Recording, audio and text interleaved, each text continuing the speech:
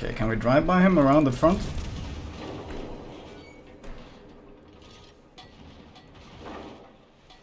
I hope the thunder doesn't kill me. That's really it. Mm.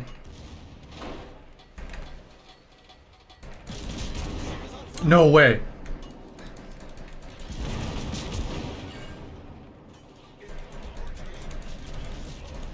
No fucking way are these guns this shit. Bro. No fucking way are these guns this lethal. Are you for real?